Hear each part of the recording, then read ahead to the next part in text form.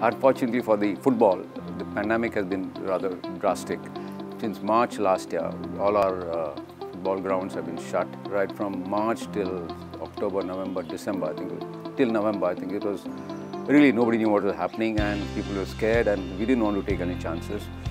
So we said no, no football. Uh, what, what was happening, unfortunately for us, uh, our coach Anthony, uh, he developed uh, sport sports exercises for the players and he, I think he bought up the uh, programs and that time Zoom wasn't really uh, already, I mean, wasn't as popular as it was today. To ensure that the physical fitness was in uh, decent shape, he sent them regular exercises and was monitoring them. And when the league, the Goa League, professional league was announced by the GFA sometime in December, we were all set to, to play.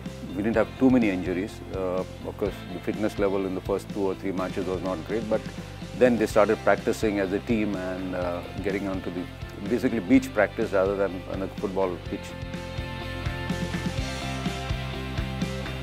I take great pride in the fact that in addition to producing All India uh, players who play for the national team, we produce a lot, number of players who've gone then gone gone ahead and started uh, coached at the national level or and at the ISL or, or the I League level.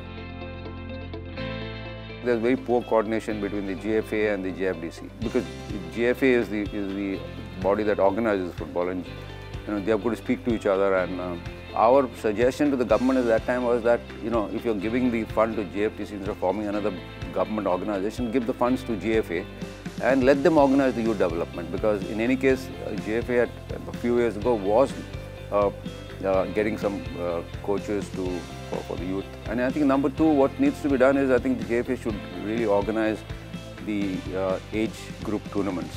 And that's the only way that you can see because practicing on your own and, and you know uh, is no no fun. You must have competition you must give them competition time